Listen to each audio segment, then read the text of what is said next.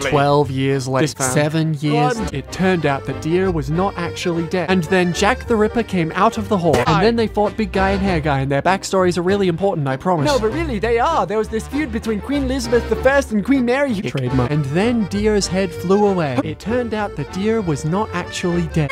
And then the boat exploded. Except what actually happened is during the explosion, Deer stole Jonathan's body and somehow also hid in the coffin in a separate compartment that was definitely there the whole time and slept for a hundred years under the sea and invented stairs. The Meanwhile, in America, five years earlier? Five years later. Meanwhile, in Rome. And then the column fellows exited their column. Meanwhile, in Venice, uh-huh. two and a half. They did. Reverse polarity is two types of sunlight. Uh, uh, five days until Joseph imploded. Meanwhile, in Notre Dame or whatever. Meanwhile, in the Colosseum, I guess. And then column fellow number one came out of the horse as a blind unicorn. Am I having a fever dream? Meanwhile, at Joseph's funeral, uh, for oh. it turned out that dear, dear, dear, dear, dear, dear, the user. except for when they don't. They found it. It's the fly. Plane didn't work, so now they're taking a boat. Oh no. Uh, uh, Av- Avdol's dead. Meanwhile, in the Taj Mahal or whatever, and then Dio's head exploded. Hey, remember when the story was about vampires? Me neither. Anyway, so Dio's body melts in the sunlight. Mario Radio. One funeral later.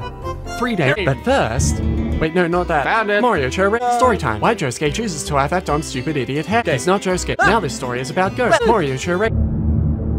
It's picnic time. And so they saw also the Cinderella lady Mario just died. And then they fought more enemies. And then Rohan's house burned down. And then it was Thursday. And episode 16, At a Confession. Bro. episode 2, Mutsukabe Hill. Episode 5, Millionaire Village. Episode 9, The Run, Italy 2001. And then Giorno entered the prison. Let's go on a cruise. And then this happens. So Giorno and Mista went for a swim. Trish is Trish.